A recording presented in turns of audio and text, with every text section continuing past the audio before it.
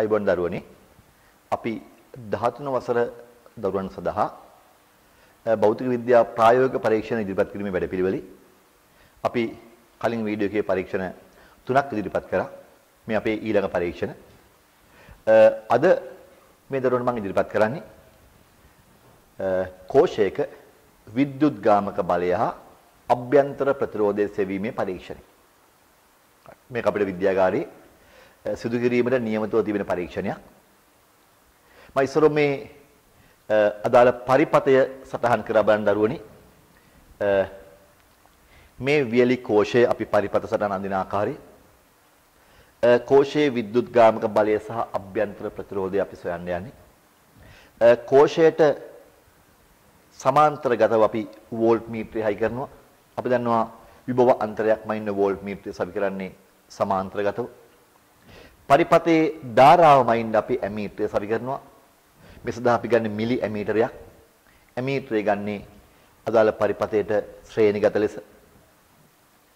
අපි පරිපතේ විචල්්‍ය ප්‍රතිරෝධයක් භාවිතා කරනවා. විචල්්‍ය ප්‍රතිරෝධය සඳහා අපි ගන්නේ ධාරා නියාමකය. අපිට විචල්්‍ය ප්‍රතිරෝධය සඳහා ධාරා නියාමකය සහ ප්‍රතිරෝධ පෙට්ටිය භාවිතා කළ හැකියි. නමුත් මේ පරීක්ෂණයට සුදුසු ධාරා නියාමකය. මේක ධාරා නියාමකය ධාරා නියාමකයේ ප්‍රතිරෝධ පරාසයක් තියෙනවා. බිඳුව 100 පරාසය ධාරා නියාමකයක් වඩාත්ම සුදුසුයි. ඊළඟට පරිපතේට මම බාහිර ප්‍රතිරෝධයක් සම්බන්ධ කරා. මේ ප්‍රතිරෝධය 10යි ඕම් ප්‍රමාණය වීම ප්‍රමාණවත් අපිට. ඒත් එකම මෙතන ස්විච් විද්‍යුත් පරිපත් සඳහා භාවිත කරන අපේ ස්විච් දෙකක් තියෙනවා. එකක් තකන යතුර අනික පේනු යතුර. මේ සඳහා භාවිත කරන්නේ තකන යතුර. අපි පරීක්ෂණය කරන දරුවන්ට මේ පරීක්ෂණයේ මේ උපකරණ ටික බලා ගන්න පුළුවන්. මේකේ මුලින්ම අපි මේ K ස්විච් එක තකන යතුර විවෘත කරලා තියෙනවා. මේක මේ තකන යතුර භාවිත කරන්නේ පරිපතය එක දිගට මේකේ ධාරාව ගලාගෙන ගියොත් කෝෂයේ විසර්ජනය වෙන්න පුළුවන්. එතකොට කෝෂයේ විද්‍යුත් ගාම බලය අඩු වෙනවා. ඒ වලකාලන්න අපි තකන යතුර භාවිත කරනවා. අවශ්‍ය වේලාවට පමණක් එය ස්විච් එක වහලා පරිපතේ ධාරාවක් ගලා යාමට සලස්වනවා. එතකොට මුලින් මම මේ ස්විච් එක විවෘත කරලා වෝල්ට් මීටරේ පාට ආයෙන් ගත්තාම සත්‍ය වශයෙන් අපිට කෝෂය හරහා ඉම අවස්ථාවේ ධාරාවක් ගලා යන්නේ. මොකද වෝල්ට් මීටරය පරිපූර්ණ වෝල්ට් මීටරයක් කියොත් ප්‍රතිරෝධය අනන්තයයි. සත්‍ය වශයෙන් මේ මේ වෝල්ට් මීටරයේ ප්‍රතිරෝධය ඉතා විශාලයි.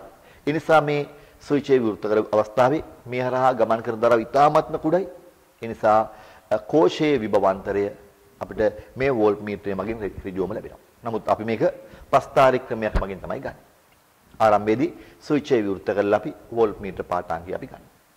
ඊළඟට මේ විචල්්‍ය ප්‍රතිරෝධය වෙනස් කිරීම මගින් මට පරිපතයේ ධාරාව වෙනස් කරන්න පුළුවන්. එතකොට මේ පරිපතේ මිලි ඇම්පියර් ප්‍රමාණයේ ධාරාවක් ගමන් කරන පද්ධතිය සකස් කරලා තියෙන්නේ. ඒ සඳහා මේ ප්‍රතිරෝධ අපි භාවිත කරලා තියෙන්නේ. වැඩි ධාරාවක් ගියොත් කෝෂයේ විසර්ජනය වීම අවම කරගන්න තමයි ඊටා කුඩා ධාරාවක් මිලි ඇම්පියර් ප්‍රමාණයේ ධාරාවක් අපි යවන්නේ. ඉස්සරෝම මේක මේ විචල්්‍ය ප්‍රතිරෝධයේ උපරිම ප්‍රතිරෝධය භාවිත කරලා ස්විච් එක ඇරලා අපි මෙතන විභවන්තරය මැනගන්නවා. ඊළඟට මේ ධාරා නියාමකයේ ප්‍රතිරෝධය ක්‍රමිකව අඩු කරමින් අපිට ඇමීටර පාඨාංකය සහ වෝල්ට්මීටර පාඨාංකය ගන්නවා. එම අවස්ථාවේදී ඇමීටර පාඨාංකය මිලි ඇම්පියර් 20 බැගින් වෙනස් වන පරිදි ධාරා නියාමකය සීරු මාරු කරනු ලබනවා. ධාරා නියාමකයේ සීරු මාරු කරලා සුසු ප්‍රතිරෝධ අපිට ගන්න හැකි. එතකොට මිලි ඇම්පියර් 20 40 60 ආදී වශයෙන් අපිට මිලි ඇම්පියර් 20 ප්‍රමාණය වෙනස් කරමින් අපි ඇමීටර පාඨාංකය ගන්නවා. ඒ එක් එක් ඇමීටර පාඨාංකයට අනුරූපව අපි වෝල්ට් මීටර පාඨාංකය ලබා ගන්නවා. එහෙනම් ඇමීටර පාඨාංකය සහ වෝල්ට් මීටර පාඨාංකය අවස්ථා පහක් සඳහා අපිට සිදු කළ හැකියි. මන්ද ප්‍රස්තාරයක් ඇඳීමට අවම වශයෙන් පාඨාංක පහක්වත් තිබීම ඉතාමත්ම සුදුසුයි. ඊළඟට අපි මෙතන ප්‍රස්තාරයක් ඇඳීම සඳහා මේ ප්‍රකාශ මේක ප්‍රකාශනය සකස් කරනවා. මෙතන කෝෂයේ විද්‍යුත් ගාමක බලය අපි E කියලා ගත්තා. අභ්‍යන්තර ප්‍රතිරෝධය සිම්පල් R. මේ පරිපතයේ ධාරාව Uh, සිම්පල් I. Uh, ඊළඟට මේ පරිපතය තුලින් ධාරාවක් ගමන් කරන අවස්ථාවේ කෝෂය මගින් ලබා දෙන විභව අන්තරේ V. කෝෂය මගින් ලබා දෙන විභව අන්තරය කියන්නේ එය කෝෂයේ විද්‍යුත්ගාමක බලයට වඩා මදක් අඩු වෙනවා. එමන්ද කෝෂයේ අභ්‍යන්තර ප්‍රතිරෝධය නිසා විභව බැස්මක් ඇති වෙන නිසා. එතකොට මේකේ අපි මේ කෝෂයේ විද්‍යුත්ගාමක බලය E අපිට ලැබෙනවා. මෙන්න මේ කෝෂයේ අග්‍රාතර. මෙන්න මේකේ අග්‍රාතර අපිට ලැබෙන විභවාන්තර නැත්නම් වෝල්ට් මීටර පාඨාංකය සහ මෙන්න මේ කෝෂයේ අභ්‍යන්තර ප්‍රතිරෝධ නිසා ඇතිවන විභව බැස්ම මම මේ ලියලා තියන්නේ IR මේ අභ්‍යන්තර ප්‍රතිරෝධයේ හේතු වෙන ඇතිවන විභවාන්තරය. මම මේ ප්‍රකාශනය සකස් කරනවා. ස්වායත්ත විචල්්‍ය වශයෙන් V පරායත්ත විචල්්‍ය වශයෙන් මම I ගන්නවා. ස්වායත්ත විචල්්‍ය වශයෙන් I පරායත්ත විචල්්‍ය වශයෙන් V. මම I හි අගය වෙනස් කරනවා විචල්්‍ය ප්‍රතිරෝධය භාවිතෙන් I වෙනස් කරනවා I සහ V අතර ප්‍රස්ථාරයක් මම අදිනවා එතෙන්දී මා විසින් වෙනස් කරනු ලැබුවේ ධාරාව ධාරාව ස්වයක්ත විචල්්‍ය විභව අන්තරය පරායක්ත විචල්්‍ය. ඒ කියන්නේ ඇමීටර පාඨාංකය සහ වෝල්ට්මීටර පාඨාංකය. අපි I සහ V අගයන් පහක් ගත්තාම අපිට පුළුවන් ප්‍රස්ථාරයක් අඳින්න අපිට ලැබෙන්නේ ඍණ අනුක්‍රමණයක් සහ ධන අන්තක්ඛණ්ඩයක් සහිත ප්‍රස්ථාරයක්. අපි මේ ප්‍රස්ථාරය මෙතන පෙන්නනවා මේ තියෙන්නේ විභවාන්තරයේ වෝල්ටේජ් එක වෝල්ට්මීටර පාඨාංකය මේ පැත්තට ඇමීටර පාඨාංකය අපි ප්‍රස්ථාරය අඳපුවාම ඍණ අනුක්‍රමණයක් සහ ධන අන්තක්ඛණ්ඩයක් සහිත ප්‍රස්ථාරයක් ලැබෙනවා. මේ ප්‍රස්ථාරයේ අන්තක්ඛණ්ඩය මගින් කෝෂයේ විද්‍යුත්ගාමක බලය ලැබෙනවා. කෝෂයේ විද්‍යුත්ගාමක බලය ලැබෙනවා. ප්‍රස්ථාරයේ අනුක්‍රමණය ගත්තාම අනුක්‍රමණය මගින් අනුක්‍රමණය ඍණාගයක් එන්නේ. ඒතර අනුක්‍රමණයේ අපි විශාලත්වය සලකපුවාම ධන අගයේ පමණක් අනුක්‍රමණයේ විශාලත්වය මගින් අපිට R ලැබෙනවා. ඒ කියන්නේ කෝෂයේ අභ්‍යන්තර ප්‍රතිරෝධය. මේ ටික තමයි දරුවනේ මේ පරීක්ෂණය කිරීමේ මූලික સિદ્ધාන්තය. අපි දැන් බලමු මේ පරීක්ෂණය විද්‍යාගාර උපකරණ භාවිතයෙන් අපි සිදු කරන්නේ කොහොමද කියලා. හරි. එහෙනම් දරුවනේ බලමු මේ මම විස්තර පරීක්ෂණය අපි විද්‍යාගාරයේ සිදු කරන ආකාරය. මේ තියෙන භාවිතා කරන ධාරා නියාමකය. ධාරා නියාමකයේ මේ තියෙන්නේ ධාරා නියාමකය අපි සර්පණය කළ හැකි තුඩ මේක අපිට සර්පණය කරලා ධාරා නියාමකයේ ප්‍රතිරෝධය වෙනස් කරගත හැකියි. මේ වෝල්ට් මීටරය. උතර මේ තියෙන්නේ ඇමීටරය. මේ තියෙන ටකන යතුරු අපි ඒක ටච් කරපුවාම ස්විච් එක වැහෙනවා. අනෙක් වෙලාවට ස්විච් එක ඇරෙනවා. අපි මේක දින ටකන යතුරු. ඊළඟ මේ පරිපතේ සම්බන්ධ කරු බාහිර ප්‍රතිරෝධය මේ මේක ඕම් 10ක ප්‍රතිරෝධයක්. මෙතන මම මේ සවි කරලා තියෙන්නේ අපි විද්‍යුත් ගාමක බලය සහ අභ්‍යන්තර ප්‍රතිරෝධය සොයන වියලි කෝෂය. වියලි කෝෂයට සමාන්තරගතව මේ වෝල්ට් මීටරය තියෙනවා. සමාන්තරගතව. මේ වෙලාවේ වෝල්ට් මීටරයේ පාඨාංකයක් පෙන්වන 1.5යි කියලා. මේ ස්විච් එක විවෘත කරන නිසා මේ ඇත්තට මේ කෝෂයේ විද්‍යුත් ගාම බලය තමයි පෙන්වන්නේ. ඊළඟට මේ ඇමීටරය මේ කෝෂයට ශ්‍රේණිගතව මේ ඇමීටරය තියෙනවා. ඒකට ශ්‍රේණිගතව මේ ටකන යතුරු ඒත් එක්කම ප්‍රතිරෝධය අප සම්බන්ධ කරු බාහිර ප්‍රතිරෝධය ඕම් 10 ප්‍රතිරෝධය. එතකොට ඒක අවසානයේ මේ ධාරානියාමකයට සම්බන්ධයි.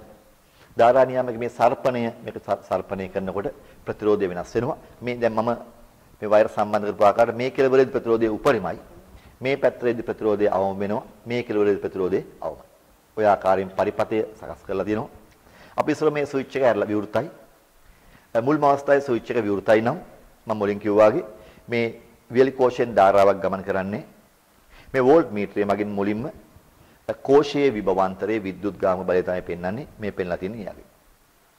ඊළඟ මම දැන් මේ ස්විච් එක වහනවා මේ අපේ තකණිය ඇතුළ. ස්විච් එක වහුවා ඇමීටරයේ සුළු විචලනයක් වෙනවා මේ බල ඇමීටරයේ මිලි ඇම්පියර් 20ක් පෙන්වනවා. මිලි ඇම්පියර් 20ක ප්‍රමාණයක් පෙන්වන ඇමීටරයේ. මම මේ අත ගන්නකොට මේක වෙන අඩු වෙනවා. ස්විච් එක වහපු අතකම මිලි ඇම්පියර් 20ක් පෙන්වනවා. එතකොට මම අත ගත්ත ගමන් ස්විච් එක ඕෆ් වෙනවා. එතකොට නැවත බිඳුවට යනවා. එහෙනම් මේ අවස්ථාවේ පාඨාංකය මිලි ඇම්පියර් 20යි. වෝල්ට් මීටර පාඨාංකය ආසන්න වශයෙන් 1.4ක් වගේ තියෙනවා. ඔව්.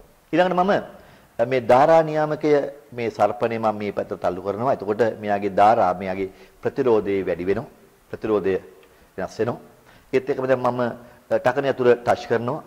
මේකේ ප්‍රතිරෝධය අඩු වෙනවා දැන් ටික ටික තල්ලු කරලා අඩු වෙනවා. එතකොට මෙයාගේ ධාරාව වැඩි වෙන්න පටන් ගන්නවා.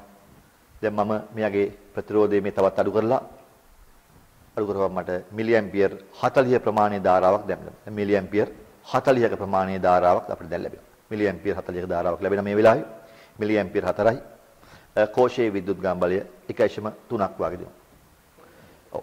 ඒතර මේකේ මම කරන්නේ මේ ධාරා නියාමකයේ මේ මේ සර්පණය මේ පැත්තට චලනය කරද්දී සපල ප්‍රතිරෝධය අඩු වෙනවා. අඩු වෙනකොට මෙයාගේ ධාරාව වැඩි වෙන්න පටන් ගන්නවා. එහෙනම් මේක මම අවස්ථා දෙකක් සඳහා කරේ. මේක තවදුරටත් මේ ආකාරයෙන් වෙනස් කරමින් අවස්ථා තුනක් සඳහා මම ගත්තු මේ දැන් මිලි ඇම්පියර් 60ක ප්‍රමාණය දැන් දිනවා. දැන් මිලි ඇම්පියර් 60 ධාරාව. මෙතන මිලි ඇම්පියර් 60යි. එතකොට මේක 1.2ක් වගේ වෝල්ටේජ් එක පෙන්නනවා. අපිට එහෙනම් මේක අවස්ථා පහක් සඳහා මේ පරීක්ෂණය කර හැකියි. අවස්ථා මම පාඨාංග තුනක් ගත්තා. පාඨාංග පහක් සඳහා මේ පරීක්ෂණය කරපුවාම මා ඉදිරිපත් කරන ලද ප්‍රස්ථාරය ඇඳීම් භාවිතයෙන් අපිට කෝෂයේ විද්‍යුත් ගාමක බලය සහ අභ්‍යන්තර ප්‍රතිරෝධය ගණනය කරන්න පුළුවන්. අද දරුවනේ මේ පරීක්ෂණය මෙපමණයි.